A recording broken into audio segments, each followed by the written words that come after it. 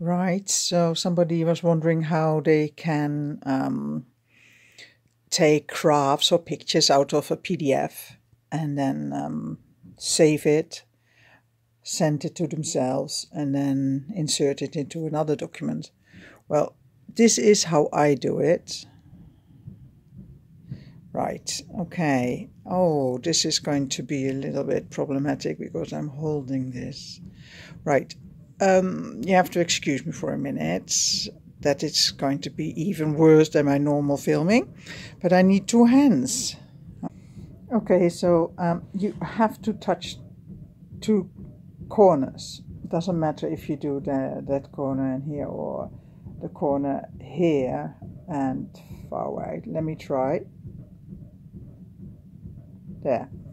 So, sorry about that and um, it gives you an option. And what I do is um, I share it.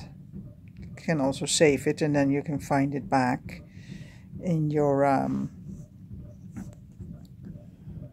so I share it.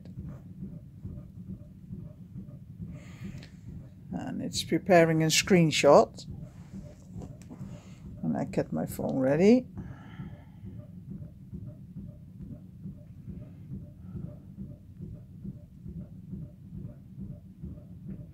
Right. And then I will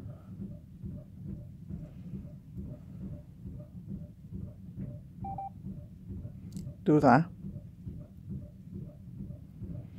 Um, an advert comes up. There you go. Um, and I share it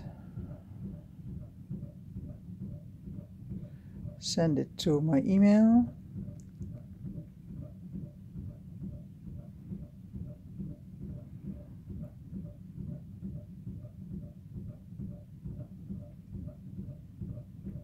Okay, and then and I just send, and there it goes. And then it will appear here if everything goes according to plan. yes there it is and um, I'll just open my there. It's a bit washed out. There it is. And then I just make a screenshot here.